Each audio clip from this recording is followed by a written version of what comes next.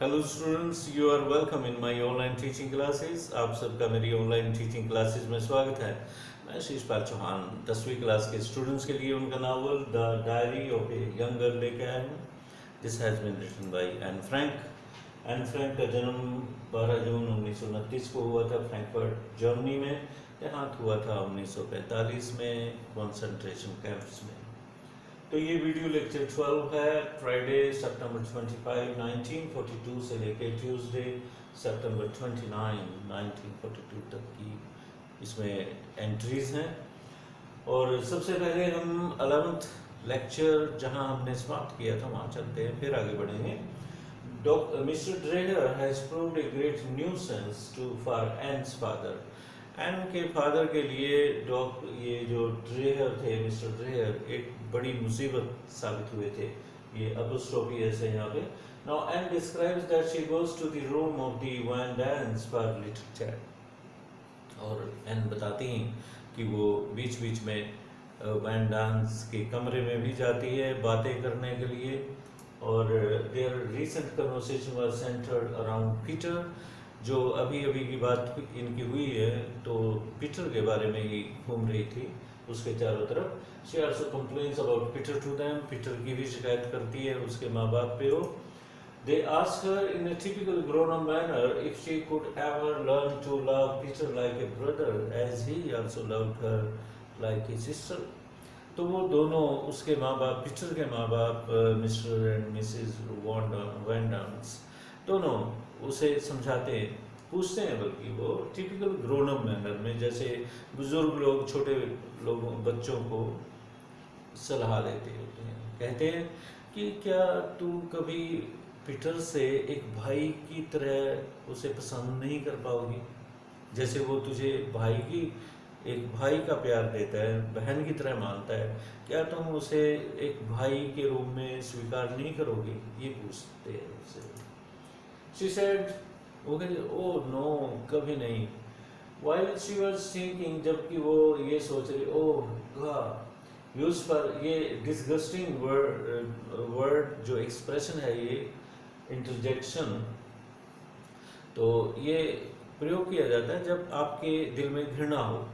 तो वो मन ही मन में तो ये उसे डिसलाइक करती है, बहुत ज़्यादा घृणा शो करी थी बट उनके सामने उसने कहा नहीं। ऐसे कहा। She also added that Peter was a little stiff. Probably he was shy.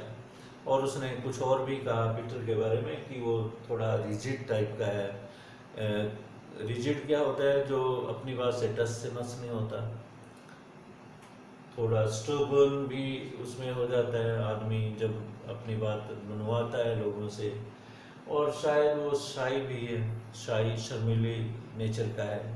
probably means शायद she also explains the reason as why it happens. फिर वो दार्शनिकों की तरह उन्हें बताती भी है कि ऐसा क्यों होता है?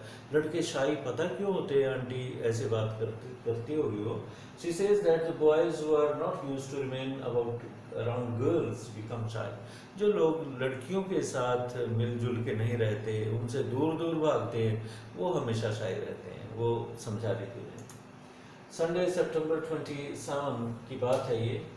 In this entry, we come to know that Anne again mentions that her father understands her better than her mother. और इस एंट्री में वो दोबारा पुनः अपनी बात दोहराती है कि उसकी मदर उसको इतना नहीं समझती उसकी बहन भी नहीं समझती जितना कि उसके फादर समझते हैं। फादर को पसंद करती है और मदर के साथ उसकी छत्तीस का आंकड़ा है। बिल्कुल वो आलोचना करती रहती है, कई बातों का आधार होता है कईयों का नहीं होता है तो एन को बिल्कुल पसंद नहीं है अपनी माँ की नेचर तो अपने फादर से उसकी काफ़ी बनती है। तो यहाँ उसके बारे में बताया उसने। She also feels difficulty in coping with her sister Margot जैसा कि मैंने अभी अभी बताया आपको, अपनी बहन मार्गोट के साथ भी वो कोप अप नहीं कर सकती ठीक तरह से। कोप कोप विद होता है, साथ चलना, सहयोग करना मतलब बनना डीलिंग रिलेशनशिप बना के रखना, वो मतलब था उसका। तो मार्गोट के साथ भी रिलेशन सही नहीं है। She adds that the personality of her mother and sister quite alien to her कहती है कि दोनों की पर्सनैलिटी उससे बिल्कुल विपरीत है। बिल्कुल एलियन है, अजनबी है, उनकी पर्सनैलिटी मतलब मेल नहीं खाती। डिसिमिलर है। She also thinks that it's shameful that her girlfriends understand her better than her mother. और ये शर्म की बात है कि एन कहती है कि उसके जो फ्रेंड्स हैं वो अधिक समझते हैं एन को। बजाय इसके कि मदर सम, मदर को समझना चाहिए बहन को समझना चाहिए। और ये शर्मिंदगी की बात है कि माँ बहन की से अधिक उसके मित्र उसे समझते हैं।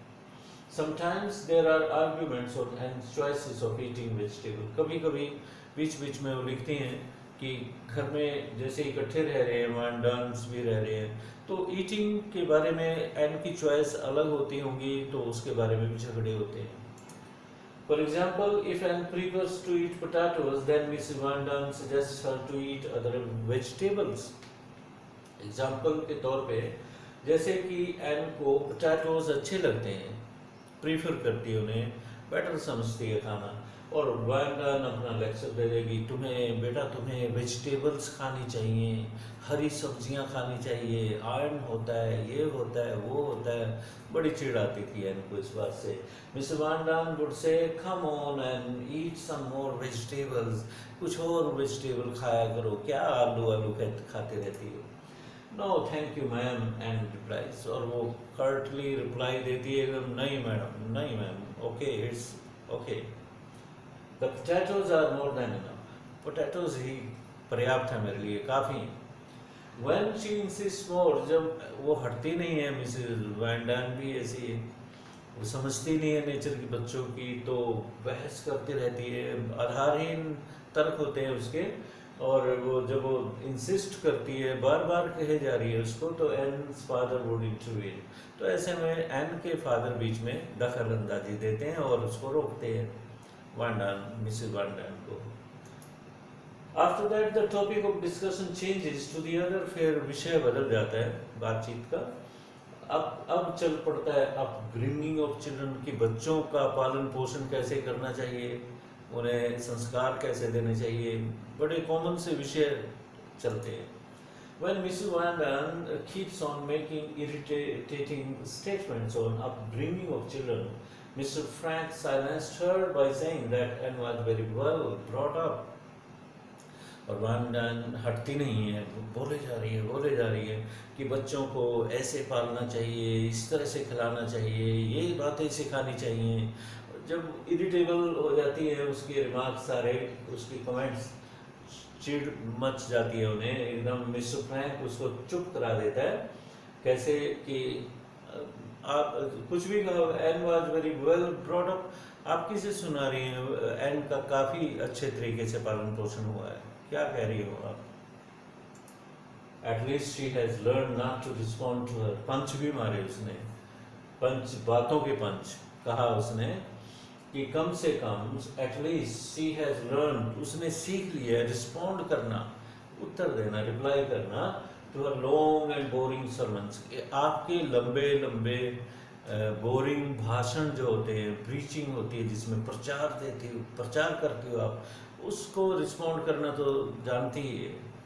That made wind defeated in in a way और इस बात से वो चुप हो जाती है, हार मान जाती है थोड़ी बहुत, मन ही मन में।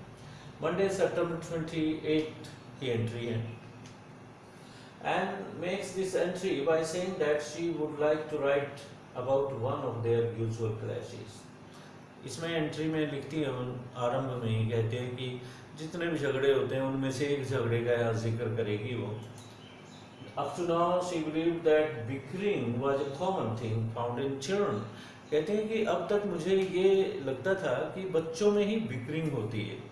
आर्गूमेंटेशन होती है, बहस होती है छोटी छोटी बातों पे झगड़े होते हैं। ये बिक्रिंग टाइप की जो छोटी छोटी विषयों पे लड़ना, मुद्दों पे लड़ना, ये बच्चों में ही होता है।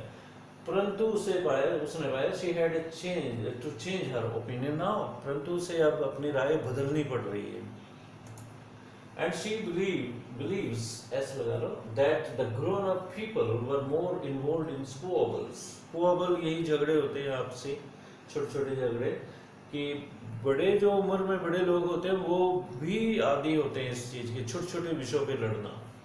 When they remain together for most of time, जब उन्हें अधिक समय तक इकट्ठे रहना पड़े तो वो झगड़ते हैं बच्चों की तरह। दे कॉल दिस पर डिस्कशन और बड़े सभ्य अंदाज में कहते हैं ग्रोन अप्स इन झगड़ों को कहते हैं ये डिस्कशन है लड़ाई नहीं है जबकि वो लड़ाई होती है। Anne feels hurt when she says that Anne को दुख होता है इस बात से। चोट पहुँचती है जब वो कहते हैं they criticise everything about me अब वो बता रही है हमें इस एंट्री में कि किस प्रकार से उसके माँ बाप या रोज इकट्ठे बैठ के आलोचना करते हैं एन की। दे क्रिटिसाइज एवरीथिंग कहती है कि हर चीज़ को क्रिटिसाइज करते हैं मेरी वो। अबाउट मी माई बिहेवियर मेरे व्यवहार को। माई पर्सनैलिटी मेरे व्यक्तित्व को आलोचना करते हैं। मेरे मैनर्स को एवरी इंच ऑफ़ मी एक एक इंच मेरे शरीर का उसको आलोचना करते हैं। हेड टू टो सिर से लेके पैर के पंजों तक। एंड बैक अगेन और पुनः कहती है the subject of gossip and debate बार बार गॉसिप में डिबेट में मेरा ही विषय होता है। Harsh words and shouts are constantly being, uh, being flung at my head. तीखे व्यंग और कठोर शब्द।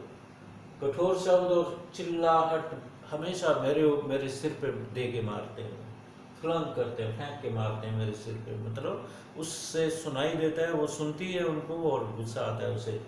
बट आई कांट मैं उनको वापस उनके सिर पे नहीं मार सकती। I have no intention of taking their insults lying down और फिर आगे कहती है कि अब मेरा कोई इरादा नहीं है कि मैं अपनी बेइज्जती को चुपचाप लेटे लेटे सुन लूँ। इरादा अब गुस्से वाला हो गया। I make them see they ought to attend to their own manners मैं अब उनको बताऊँगी कि उन्हें अपने मैनर्स को अटेंड करना चाहिए, अपने मैनर्स की बात करें, अपने आप की बात करें, मेरी क्यों बात करें वो? Instead of mine, how dare they act that way? ऐसा इस प्रकार से एक्ट कर रहे हो, बात करते हैं उसके बारे में, ऐसा ढेर कैसे करते हैं? साहस कैसे होता है उनका? इट्स सिंपली बारबैरिक ये सारी बातें उनकी अनसिविलाइज्ड हैं, असभ्य है। I give them the taste of their medicine मैं उनके, उनको अब मज़ा चखाऊँगी। उनकी ही मेडिसिन का टेस्ट उनको चखाऊँगी मीन्स मज़ा चखाऊँगी। And then they will change their tune और फिर उनके सुर बदलेंगे। मेरे बारे में ओपिनियन बदलेगी। Am I really so bad mannered headstrong क्या मैं इतनी बैड मैनर्ड हूँ? ऑब्स्टिनेट हूँ? जिद्दी हूँ? स्टोबर्न भी जिद्दी होता है। पुशी अग्रेसिव हूँ। स्टूपिड हूँ, बेवकूफ़ हूँ, सुस्त हूँ etcetera etcetera as the Van Daans say I am जैसे कि वांडान कहते हैं कि ये जिद्दी लड़की है, इसे मैनर्स नहीं है, बात करने नहीं आती, ये सारे लांछन उस पर लगाते हैं। क्या मैं ऐसी हूँ? अपनी किट्टी से पूछती है, अपनी डायरी से पूछती है वो। नो ऑफ़ कोर्स नॉट नहीं, ऐसी तो नहीं हूँ मैं। I know I have many faults and shortcomings फिर कहती है कि मुझे पता है अपनी कमियों का, मेरे में कसूर क्या क्या है, कमियाँ क्या है? मुझे पता है उनका। But they blew them all out of proportion परंतु वो आउट ऑफ़ प्रोपोर्शन है। जो बातें करते हैं, वो ज़्यादा करते हैं। थोड़ी बहुत कमियाँ सभी में होती हैं। वो एग्जिस्ट्रेट करते हैं मेरी बात, कमियों को। If you only know Kitty Kitty को कहती काश कि तुम ये जानती। हाउ आई सी कि मैं कितनी गुस्से में उबलती हूँ। When they scold and mock, जब मैं, मुझे झिड़कियाँ देते हैं और मेरा मज़ाक कर रहे होते हैं। कितनी उबलती हूँ गुस्से में, पर कर नहीं सकती कुछ। इसके पश्चात after this Anne narrates her father's diffidence अपने फादर की शाइनेस को बताती है कि कितने शर्मीले टाइप के थे वो। Next there was discussion between Anne's mother and Mrs Van Daan फिर एक और डिस्कशन चलती है वांडान और मिसेस फ्रैंक जो माँ है उनकी, उसके बारे में। Mr. Van also expresses his opinion on the discussion. इस डिस्कशन पे मिस्टर वान भी अपनी राय प्रकट करता है ओपिनियन प्रकट करता है Mr Van continue speaking in a mixture of German and Dutch और मिसिस वॉन्डोन जर्मन और डच लैंग्वेज के मिक्सचर में बात करती जाती है until she is tangled in her own word जब तक कि वो अपने ही शब्दों के जाल में न फंस जाए, बोलती जाती है अंततः finally she was about to stand up from her chair वो अपनी चेयर से उठने वाली थी अपने कमरे में जाने के लिए to go her eyes fell on Anne तभी एन की तरफ़ उसने देखा, आँख, उसकी नज़र वहाँ पड़ी who was involuntarily shaking her head जो उसकी बातों पे अपने सिर ऐसे हिलाई जा रही थी। इनवॉलंटरी उसे नहीं पता था, वैसे ही। Miss Van Daan turn around और उसे गुस्सा आया वांडान को उसकी तरफ़ देखा उसने और उसे बहुत ही स्वीयर स्कोल्डिंग दी। बहुत तीखेपन से झिड़का। And describes here the expression on her face minutely and says that those were comical, mean and ill-mannered. जैसे ही एन को झिड़का बड़े कड़े शब्दों में झिड़का मिसिस वांडान ने तो तभी एक्सप्रेशन के बारे में लिखती है एंड डिस्क्राइब करती है। कि वो जब झिड़क रही थी तो उसका चेहरा देखने लायक था। कॉमिकल भी लग रहा था, जिसपे हँसी आए कमीनापन झलक रहा था उसका चेहरे में, और शिष्टाचार की कमी थी। बहुत इल मैनर्ड वो महिला थी। She concludes that she learn a great fact that real character of a person is revealed after a fight यहाँ पे वो एक दार्शनिकता का निचोड़ निकालती है। एक बात जो ह्यूमन रिएक्शंस के बारे में ह्यूमन नेचर के बारे में निचोड़ निकालती है एक बात का, कि अगर किसी की पर्सनैलिटी को परखना हो, किसी के व्यक्तित्व को परखना हो तो उसको गुस्से में देखो। जब वो लड़ाई करके हटता है, लड़ाई करता है या लड़ाई करने के बाद उसका चेहरा जो होता है, देखने लायक होता है, उसकी जो असली है अंदर पर्सनैलिटी वो झलकती है। उसकी एजुकेशन वहाँ झलकती है। अगर वो रियल एजुकेशन होगी उसके अंदर, सही मायने में एजुकेशन होगी तो उसके रिएक्शन गुस्से वाले रिएक्शन बड़े अदबी होंगे। उसमें शिष्टाचार भी होगा मैनर्स होंगे, बड़े तरीके से वो बात कहेगा अपने गुस्से की बात की। परंतु जो, जिन्हें एजुकेशन नहीं है, जो सही मायने में एजुकेशन होती है, शिक्षा होती है, जिन्हें वो चीज़ें नहीं हैं दिमाग में, वो किसी भी तरीके से अपना गुस्सा उगलेंगे, आप पे बरसेंगे, गालियाँ देंगे तो एजुकेशन की उतनी ही कमी झलकती है। आप जज करना चाहो किसी की एजुकेशन को, उसके गुस्से के मूड में रिएक्शन देखिए और फिर जज कीजिए। तो असली जो पर्सनैलिटी है, निकल के आती है। ये निचोड़ ह्यूमन नेचर के बारे में यहाँ निकाला। सितंबर 29 की बात है we come to know from this entry that in hiding all of them had to face several difficulties तो इस एंट्री में वो कहती हैं कि हाइडिंग प्लेस पे सीक्रेट एनेक्स पे उन्हें बहुत सी तकलीफ़ों का सामना तो करना ही पड़ा था। मुश्किलें आई रास्ते में बहुत। One of the difficulties was that they had to use wash tub एक मुश्किल सबसे बड़ी ये थी कि उन्हें बाथ टब की जगह वॉश टब यूज़ करना पड़ता था। Hot water was available only down stair in father's private office जो गर्म पानी था, उसके फादर के प्राइवेट ऑफ़िस में ही नीचे मिलता था। And says that all of them were not alike and कहती है कि वो सब जितने लोग वहाँ रह रहे थे, आठ के आठ अलग अलग नेचर के थे। शुरू में सात थे, फिर आठ हो गए थे। तो अलग अलग नेचर थी, उन्होंने डिफरेंट प्लेसेस नहाने के लिए अलग अलग जगह चुन ली। Peter takes bath in office kitchen Peter office kitchen में बात करता है, नहाता है, स्नान करता है। Even though it has glass door यद्यपि वहाँ ग्लास डोर लगा हुआ है, बिल्कुल परवाह नहीं करता। और सबको नोटिस दिया हुआ उसने कि उस साइड पे मत जाना, आधे घंटे तक। Miss Mr Van Daan takes his bath upstairs ये ऊपर सीढ़ियों के ऊपर नहाते हैं। Mr Van Daan has to decide इन्हें अभी डिसाइड करना है महारानी को। Anne's father takes bath in his private office Anne अपने प्राइवेट ऑफ़िस में नहा नहाती है। और फादर एंड फादर एन के फादर अपने प्राइवेट ऑफ़िस में नहाते हैं। And her mother in the kitchen behind a fire screen fire screen के पीछे किचन के पीछे एक फायर स्क्रीन है, उसके पीछे वो नहाती है मिसेस फ्रैंक एन की mother in in the kitchen kitchen में behind a fire screen Anne and Margot have the front office इन्होंने दोनों ने फ्रंट ऑफ़िस डिक्लेयर किया नहाने के लिए।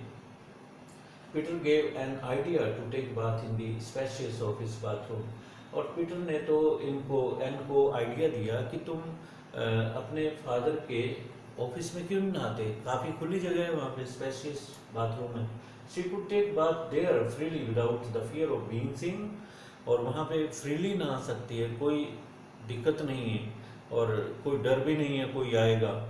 She further writes that the plumber was at work downstair on Wednesday फिर आगे ज़िक्र करती है प्लम्बर का। डाउन स्टेयर प्लम्बर का काम शुरू हो चुका है। अब इन्हें काफ़ी चौकस रहना पड़ रहा है। He was working on the pipes and drains from the office bathroom pipe और ड्रेन्स पे काम कर रहा था, जो बाथरूम से होके जाती थी।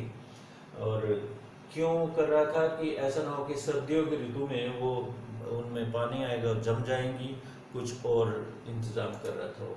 The people in the hiding place upstair had to remain extra कोशिश और जो हाइडिंग प्लेस में ये लोग रह रहे थे तो इन्हें काफ़ी एक्स्ट्रा कोशिश रहना पड़ा जब ये जब ये काम चल, चल रहा था। They could not run water during the day दिन में पानी का इस्तेमाल भी नहीं कर पाते थे। और they had to use canning jars to attend to their natural colds अपने नेचुरल कोल्स को अटेंड करने के लिए कैनिंग जार्स का इस्तेमाल करना पड़ा। The most difficult task for Anne was to sit quiet for the whole day सबसे बड़ी मुश्किल क्या थी एन के लिए? चुप रहना। वो लड़की चुप रह ही नहीं सकती थी, इस तरह की नेचर थी उसकी। तो ये वीडियो लेक्चर 12 हमारा यहाँ समाप्त हो जाता है। थर्टीन वीडियो लेक्चर लेके मैं शीघ्र आऊँगा. Till then have nice day thank you